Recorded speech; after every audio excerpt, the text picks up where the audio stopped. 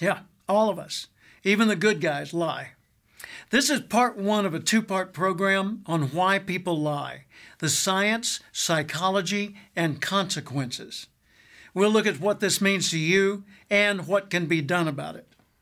Joining me are Dr. Daniel Krawczyk of the University of Texas at Dallas and Dr. Michael Lundie, staff cognitive scientist and owner of the Psychological Sciences Group of ARA.